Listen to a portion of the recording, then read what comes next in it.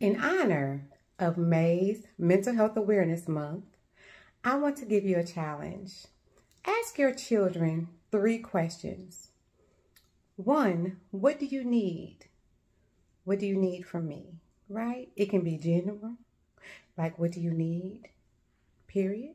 Or what do you need from me? Ask both. Two, are you happy? Are you happy?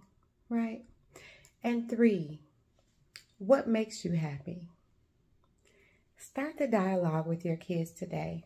I just did a symposium for New Life on mental health awareness in teens and suicide prevention for teens. A 17 year old child died by suicide.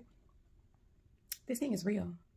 And suicide is the second highest leading cause for deaths in Alabama, ages 10 to 24.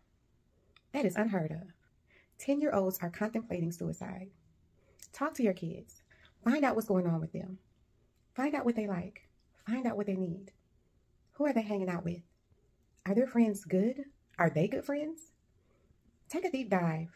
Get to know your kids. I'm sure they'll thank you for it. They may be a little irritated right now, but when they get older, they'll appreciate you for it. That's my two cents. Take it or leave it. It's free.